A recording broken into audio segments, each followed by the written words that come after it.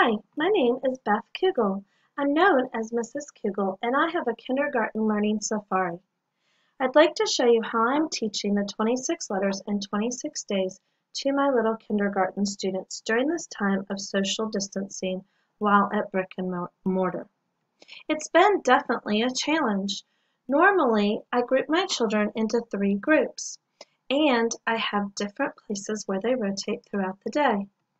Normally, my room has five stations that look something like this. The children are assigned to one station each day. Well, we couldn't do that this year, so I had to get a little creative. This is how my classroom looks this year. My stations are put away, my tables are put away, my students have desks. You can see around my carpet there are six desks. That is where I will move students to do small groups or to work with struggling students. I moved my kidney table outside the classroom this year. I also made little privacy dividers using Dollar Tree science boards and plastic sheet protectors. Here's an example of how my students are sitting and using the materials. Let's take a little bit closer look at how my classroom is structured. When my children come in each day, they will find six picture cards. The picture cards go with the letter of the day. For 26 days, we will focus on one letter a day. They will also have a cute little puppet that's going to go with the pictures. When our instruction begins, we get out our plastic sheets. In these plastic page protectors, the students have two learning mats. This is the Papa Bear, Baby Bear, and Listening Ears board. I've bagged up letters for each of the children. Our school will focus on five letters for five days. During those, we'll focus specifically on one letter, but we'll touch on all five letters all five days. First, the students get out the capital letters and give them to Papa Bear. Baby Bear gets the lowercase letters. Sometimes we do them one at a time. I tell them to find a, capital, a specific capital letter. Sometimes I tell them to just unclip their letters and sort them. This has worked great. Although it took a lot of prep time to cut out all the cards, it was super simple once I had it done. I gave each child a snack bag with their name. They have five sets of capital and lowercase letters and five sets of pictures. Each day they'll have different pictures that go with each letter. Let's take a look at it using a little bit different method. Here you see what the board looks like. Here's some different letters. First, the children get out their capital letters. I might say can you find the letter R? It makes the R sound. Give Papa Bear the capital R. Or I might just tell them to sort. It really depends on which day. The first day we're going to be a lot more specific. By the end of the five days, hopefully they're able to find the capital letters independently. Next, it's time to match up lowercase letters. Again, the children have each received their own disposable materials instead of using laminated sets at my table.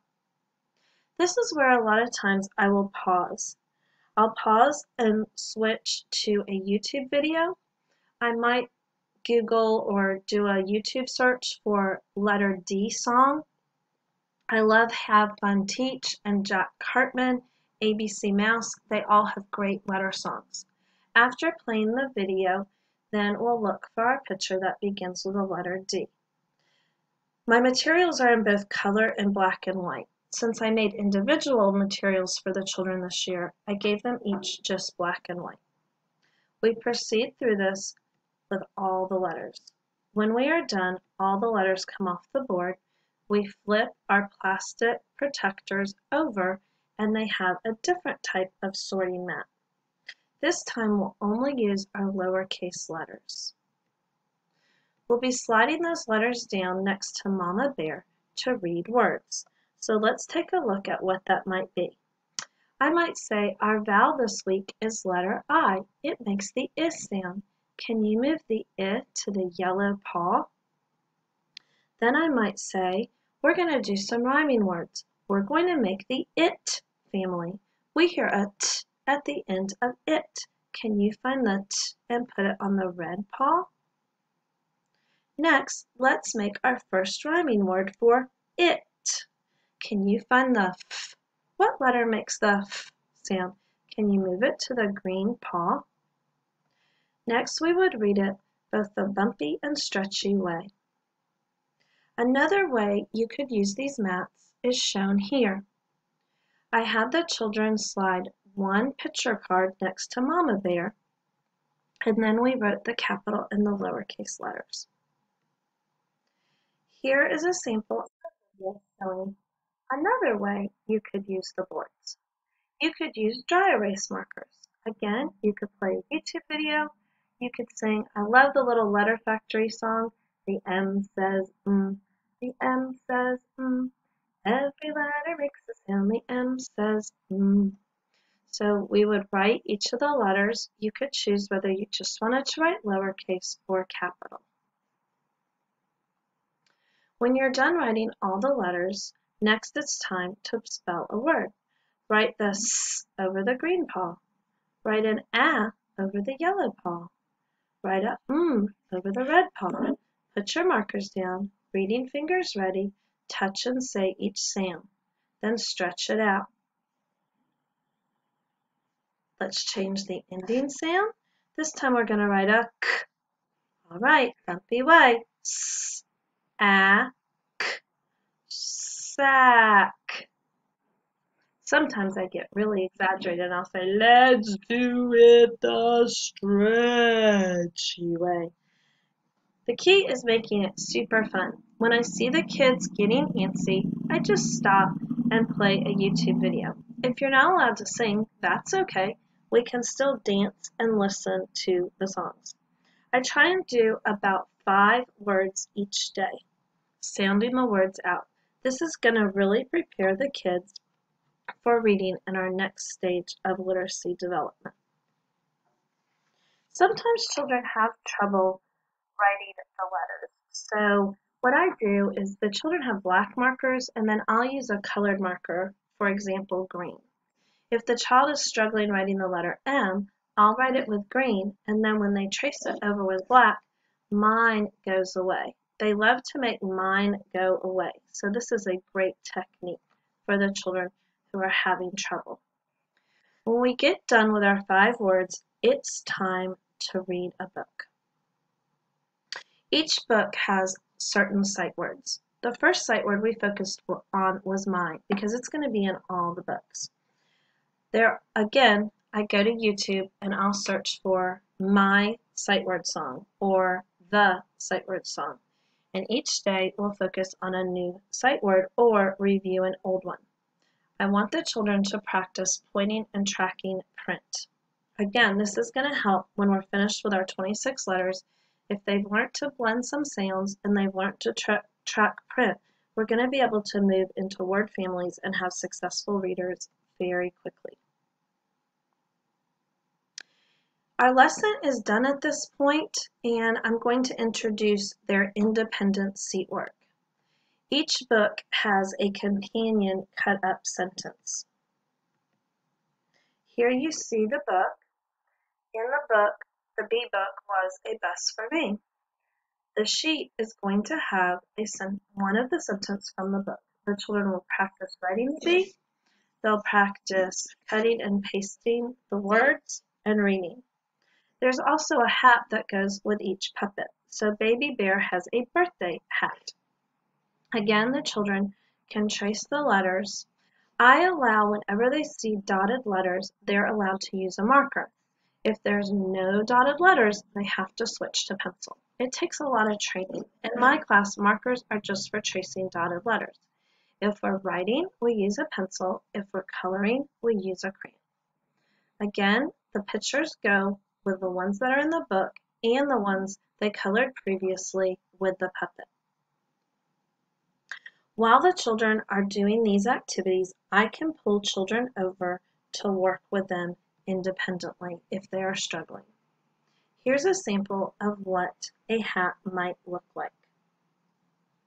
I also try and do a lot of fun things. For example, on the raccoon day, we might be raccoons and eat fish.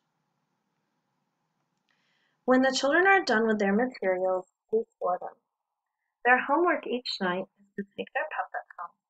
I have them store their six picture cards in the bag. I've made YouTube videos to go with the puppets. I'm not a great singer or a musician. I made a tune to Old MacDonald Had a Farm, and if you want to check those out, you're welcome to. Just type in the name of the puppet and then Google it after it to find them.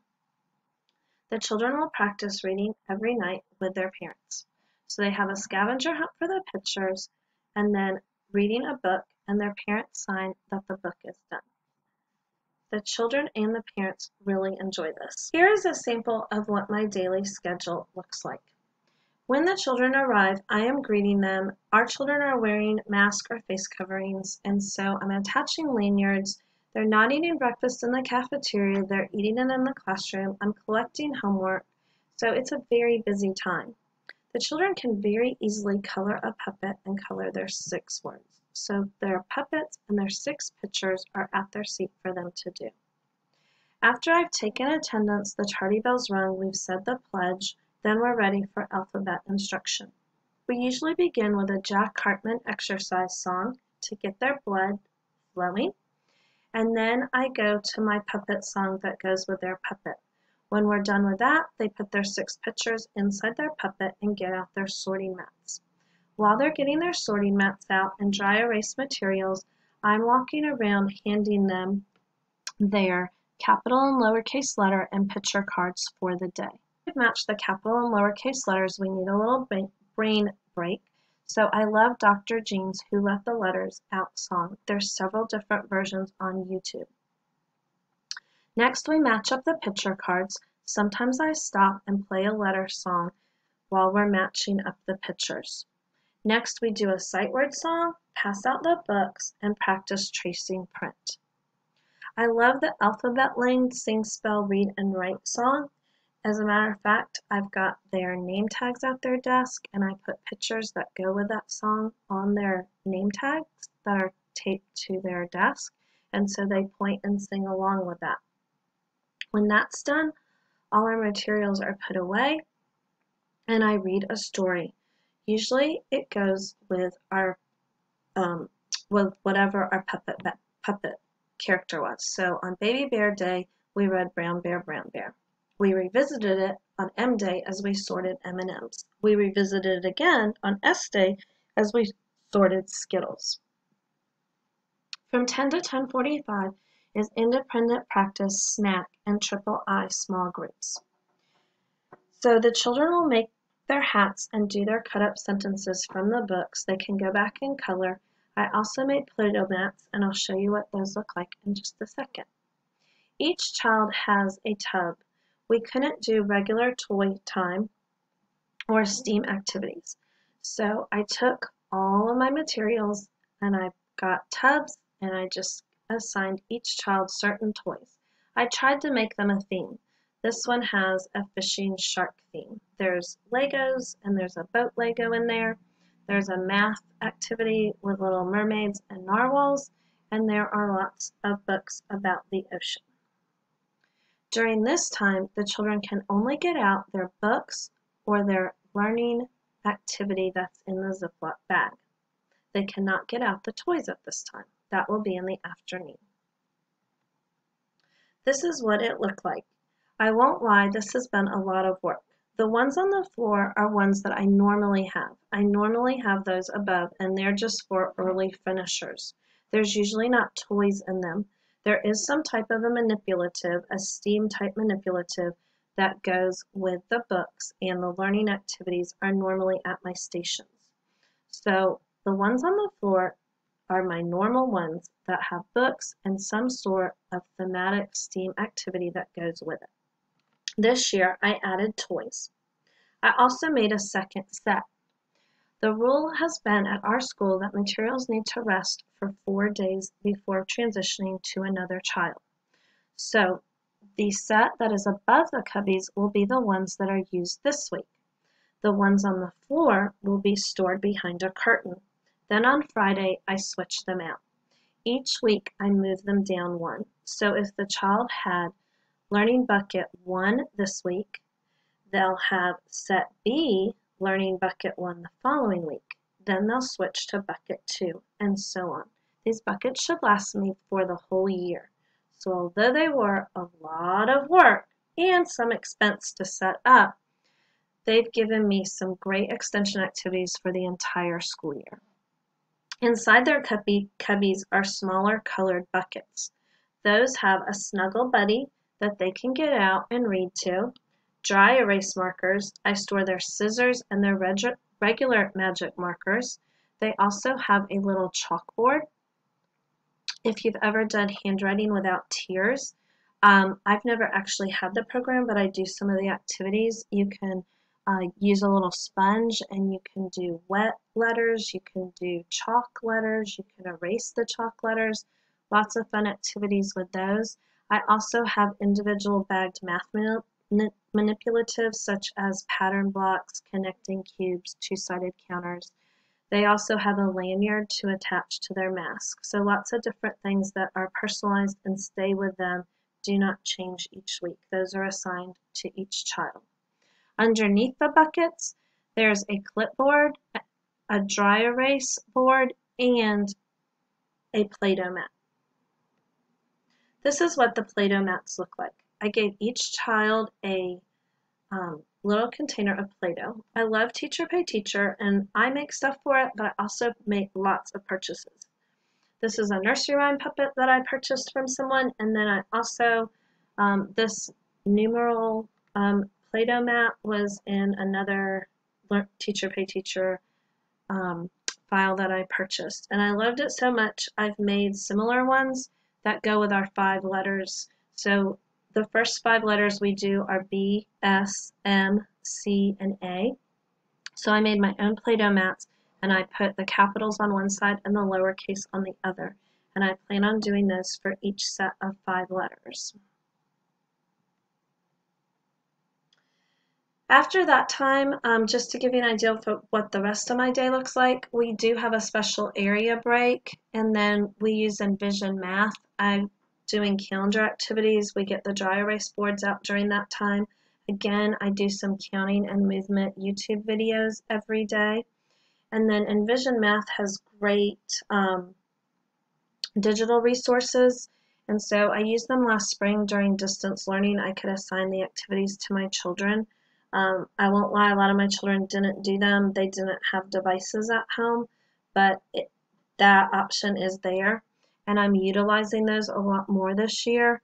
Um, they've got an another look video and an interactive student edition. They've got a visual learning video. So I'm using those a lot this year. If they've got a game that goes with that lesson, then we may do a whole group we get um, laptops for our children one day a week where I have um, a device for every child.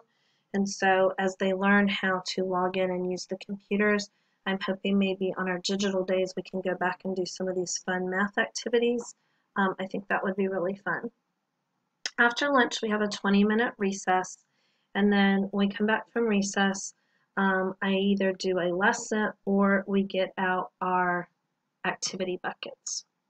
So here the children are with their activity buckets and you can see, um, at first I thought it wouldn't be very fun to just play with toys by yourself, but they really do love it. They get so excited when it's toy time. For recess, I try and do lots of fun things. We're not allowed to use our playground equipment, so we began with a two-week unit on nursery rhymes, and so at Easter every year I always get lots of fun Easter eggs. So we got out our little math bag with the connecting cubes. They each had one in their cubbies, and so I just added an egg to it, and they tried to, the challenge was to try and build Humpty Dumpty a wall that he wouldn't um, fall off of. And so we just try and do a lot of fun things. Um, I try and find things that go with whatever we're studying. So on letter B day, I went to the party favor section and I got them each a little tiny one inch baby and a little tiny one inch bottle and a couple sheets of blue felt and I cut up little blue felt squares. And so they got a cup of water with some soap bubbles, a baby, a bottle, and a blue blanket. And we social distanced while we bathed our babies and fed them bottles. It was about 100 degrees that day, or at least it felt like it, down here in Florida, and so that was really fun to get to play in the water. I'm always looking at Dollar Tree and just trying to find fun fun things to do. On, on letter C day, I love the engaging reader, readers um, units and I use them a lot. And so we had done Chicka Chicka Boom Boom the week before. And so on letter C day, I bought a coconut and she they've got a great, um, to go with their engaging readers, they have a STEAM and math unit. And so they had a challenge about predicting whether a coconut would sink or float, and we did that, and then we ate coconut cookies. So just trying to really make it fun and engaging. Um, on A day, we'll do something with apples, and then we'll glue Apple Jacks onto A. For S day, um, we sorted Skittles, and I found at the Dollar Tree was like an eight pack of little finger skateboards, so they each got a skateboard. I found um, like Halloween scary fingers, and I'm going to give those to them on F Day, and then that will be their special finger that they point and read their books. So that it makes it really fun. The kids get excited about what's going to be their super surprise for the day. Learning definitely looks different this year. I look different this year, but it's been fun, and I hope you're enjoying your year. If you'd like my 26 letters and 26 days activities, you can find it on Teacher Pay Teacher. You can also check out my um, YouTube. Um, I do have a blog and I haven't, I'm not always real good at keeping up with it. I've been really focusing on making some YouTube videos this year and um, just making learning so fun for our children. Have a great year, and I'd love to hear back from you about the fun things you're doing in your classroom.